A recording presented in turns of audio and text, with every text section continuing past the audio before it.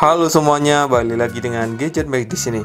Kali ini Gadget Baik kedatangan paket dari Piata Indonesia. Uh, sudah hidup ya. Ini namanya Phantom Pit Me dan harganya 500.000 kurang 1000 cuy. Harganya lumayan tinggi ketimbang seri-seri sebelumnya kan cuma 200 ribuan. Mungkin ini ngambil ada dijual 300 ribu ya. Biar lebih murah lagi. Oke, udah kelihatan ya. Ini fitur-fiturnya dari sebelah sini oh ini bisa ini layarnya 1,3 inch sudah bisa ganti gambar. Baterainya 7 hari bodinya sudah metal ini sudah bisa diganti ya gininya straightnya. Oh, sebelumnya kan cabut-cabut pasang nggak jelas gitu ya. Nah habis ini ini magnetic charging oke. Okay. straight resistant temper glass. Ini cuma nggak diisi anti air apa enggak ya aja sih. Kita buka aja ya langsung ya. Ini masuk Piater masuk udah seller terbaik ya karena sudah penjualannya wih gila cuy. Udah ribuan dia jual produk. Dan sampai kayak asetnya sempet trending loh kemarin. Piater hebat nih Piater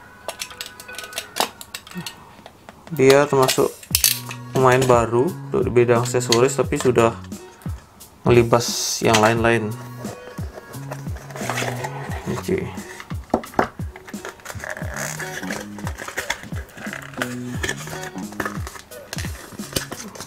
Gimana sih depan itu. Oke. Hmm, udah kelihatan kan jam tangannya kan habis itu sini kita dapat oh ini charger charging ya. Kalau kita tes habis itu kita dapat buku petunjuk seperti ini.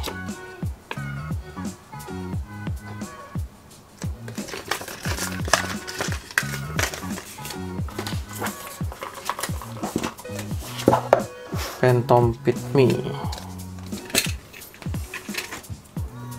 Oke kita langsung masuk ke jam tangannya ini bisa diganti ya. Kan dia model geser gini. Cuma nggak dapet straightnya lagi. Oke.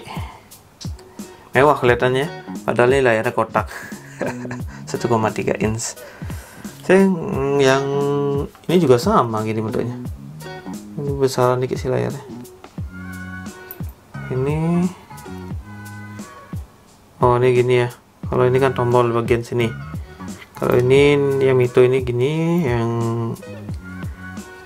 Piata gini. Ini straightnya gini udah. Lembut sih. Nah di bagian belakang ini untuk charging ya ada logo Piata ada tulisan Pitme kita tes. Lengket sih.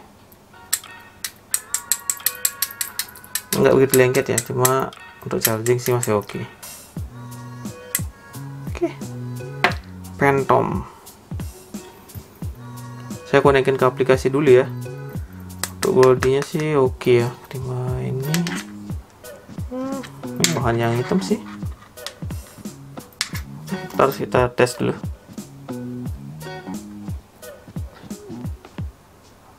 Nah ini tampilannya kalau kita pakai ya. Hmm, aneh ya. Kotak ini agak aneh sih saya lihat. Mendingan ya kalau pengen bulat ya bulat sekalian dah dicari produknya. Kalau gini sih aneh oke kayak gitu sih. Pas aja ya. Untuk aplikasinya sama ya pakai Davpit ini aplikasi dari Mito juga. Namanya FM Phantom. Oke di sini juga bisa diganti. Cuma tiga pilihan gini aja. Habis itu notification ada alarm ada shutter. Nah, seperti ini tekan. Oh. kayak gitu ya. Habis itu ada oh untuk nyeting jamnya dan lain-lain. Itu udah upgrade mentok. Oke. Itu aja sih. Nggak ada yang spesial lagi. Oke, sama kayak jam pada umumnya jam tangan pada umumnya. Oke yang pengen beli silahkan cek di link deskripsi dan jangan lupa subscribe dan like. Yuk, sampai jumpa.